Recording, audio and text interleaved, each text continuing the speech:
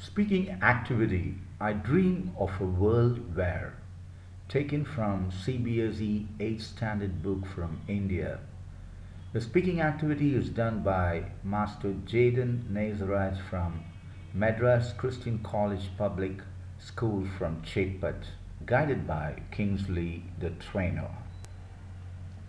I dream of a world where there is no huge traffic in the roads and less pollution. People should get clean water and good air to breathe. For that purpose, I will plant more trees. People should get good hygienic food. I also dream of a world where there are no accidents in the road. Secondly, I dream of a world where there is no killings. People should live in peace, in joy, and should be happy.